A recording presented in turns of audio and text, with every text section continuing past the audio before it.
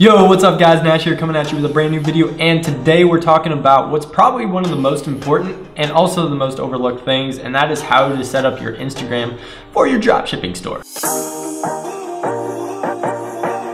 Alright guys, so like I said, it's probably one of the most important things but also the most overlooked because um, the Instagram is literally the first point of contact that you have with your customers, especially if uh, you're doing the Instagram influencer technique like what I talked about. So let's jump into the computer. I'm going to show you a few examples as well as some things to look for and things to actually do when you're setting up your Instagram. So let's go. So why is having a good Instagram actually important? Well, uh, there's a few reasons, but number one, it's it's literally the um, the door to your business, okay? Let's see if I can spell this.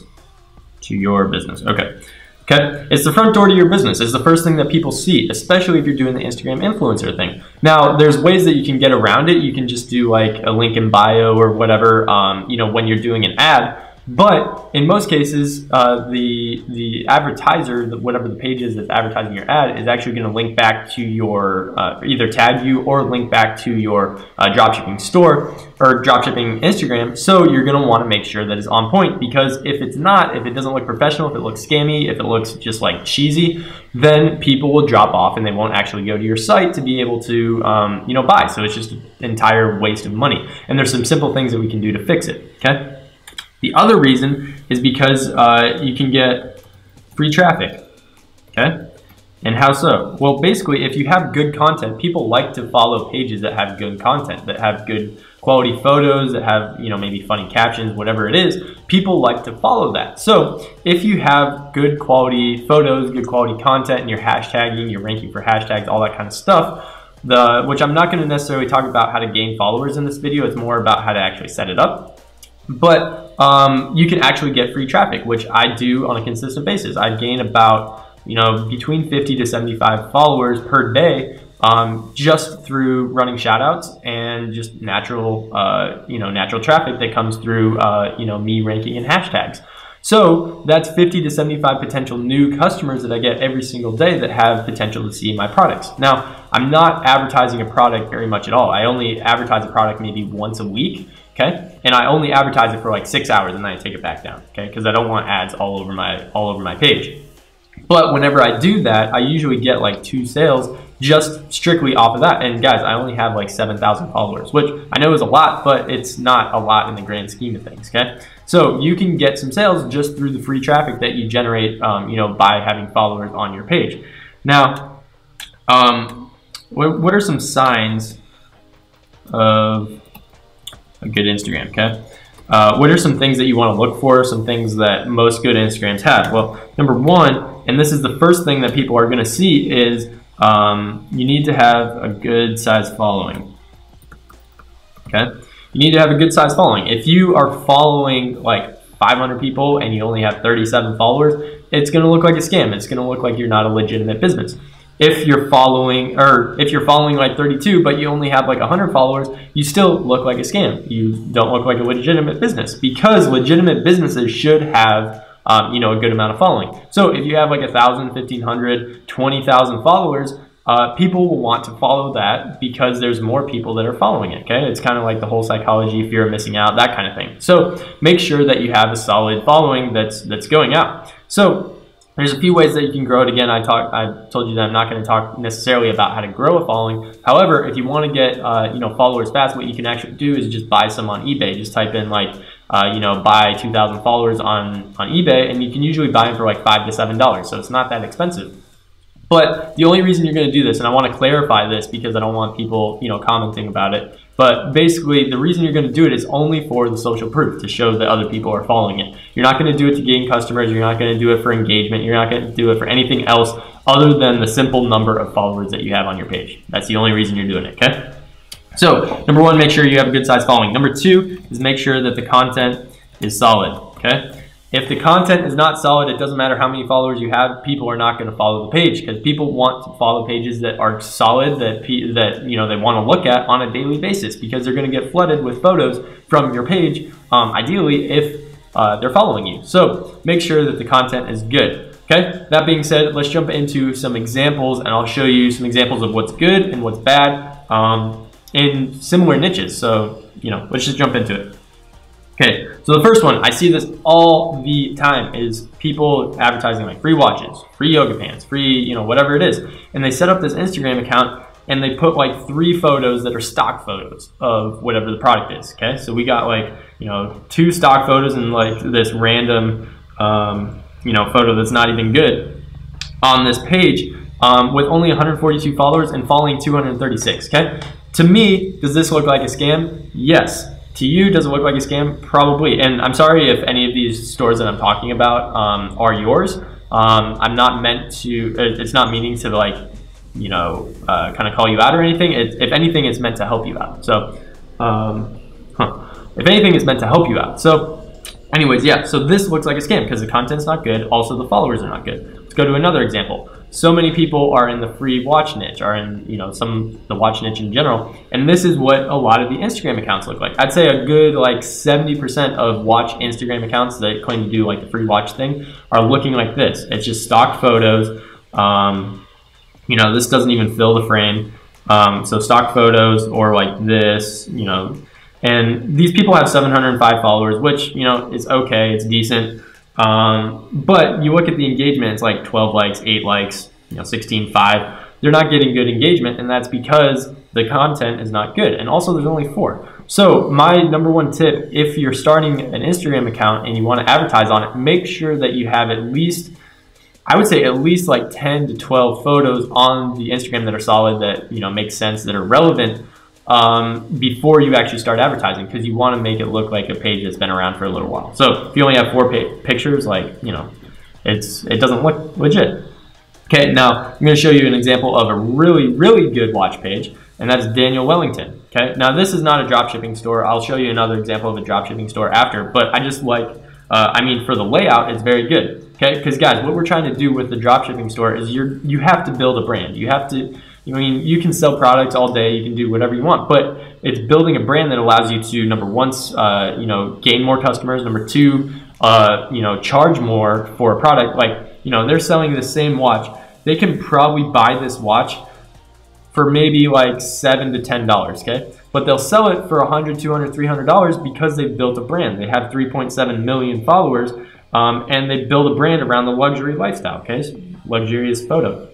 Now look at this they're all in some sort of, uh, you know, some sort of theme. And uh, especially if you're in the watch niche, fashion, um, you know, any sort of niche where, where people are actually wearing a product, you want to make sure that it's, uh, you got some lifestyle photos in there. So like, for example, this one, uh, this girl is having a ton of fun with her boyfriend and just happens to be wearing a watch, okay? The watch isn't featured, but it's there and people um, subconsciously think about it while they're, you know, while they're purchasing. So you know, this girl's having a ton of fun with this watch on. Maybe, you know, it's something I should look at. And, uh, you know, to go further, people follow this page, Daniel Wellington, not just for watches, but they follow it because the content is good, you know, good quality photos all over the place. And it's just fun to look at, okay? So here's a great example. Now, this next one, ID and Envy, is actually a dropshipping store that I know for a fact. This is a dropshipping store, okay? But they have outstanding photos. As you can see, they're, they're doing the whole free watch thing but they have a good photo of a watch, another good photo of a watch, and they mix it up. Okay, they have um, they have good content like you know this is just you know a random photo, but they they kind of keep the whole hipster photographer you know fashion kind of vibe, and everything is consistent. Okay, so if you look down another watch photo, another watch photo, but look. It's got you know the coffee glass in it. It's got you know it's it's aesthetically nice, all that kind of stuff. So how do you get photos like this? Well, uh, you know, I would highly recommend buying the product yourself, which, you know, costs like what, two, three, five dollars max. Um, buy the product yourself and take photos of it yourself.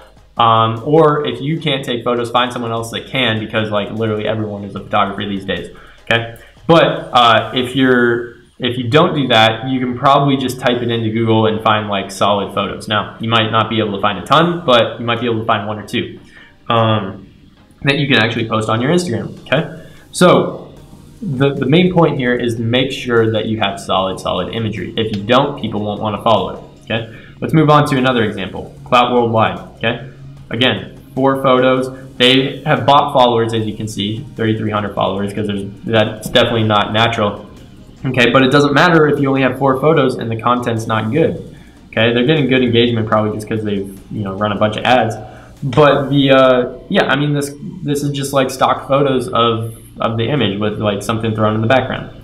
Okay, as opposed to something like this Gaia Stock, which is um, an art brand. Okay, they sell like tapestries, bag like home decor, all that kind of stuff. And as you can see, they do have product photos, so like this one, product photo, product photo, you know, all this stuff is product photos, but it's super relevant and it's a good solid photo of the product, okay? It's not just, you know, this on a white background, but it's this with the couch, with the whole home decor, all that kind of stuff built in. And then occasionally they'll post something cool like this or like this dog photo or, you know, this house or whatever. And as you can see, 100,000 followers that they've got. And guys, they've only been around for like a year and a half, maybe two years, because um, I've been following them for a little while. But yeah, so they have solid content and you know good engagement, 1,200, 1,300, uh, 13,000 likes.